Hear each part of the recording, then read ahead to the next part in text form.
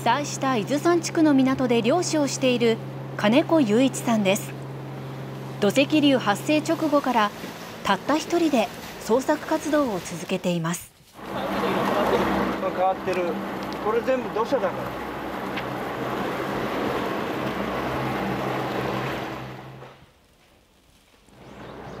土石流の影響で港に土砂や瓦礫が流れ込みました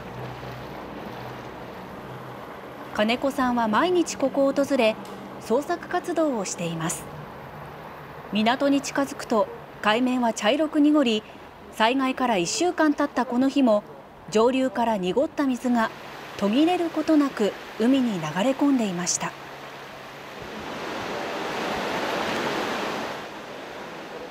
船着き場のあたりには家の壁や食料品生活雑貨などが流れ着いています。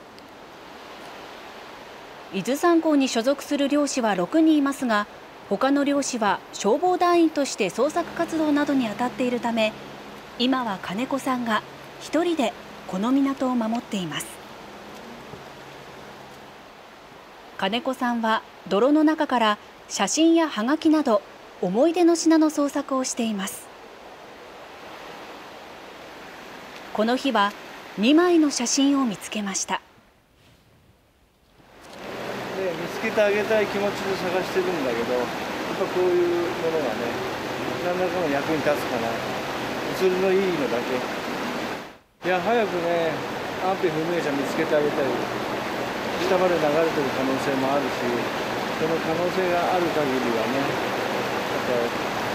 普段と違う目で見てあげないと。金子さんはこれまでに80枚ほどの写真とアルバムを回収しました。こういう結婚式だとか子供の頃の写真だとかっていうとね思い入れがあるのかなと思ってね。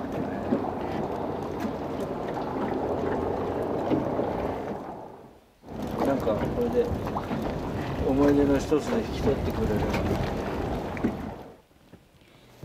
回収した写真は市役所に保管してもらい持ち主を探してもらうといいます。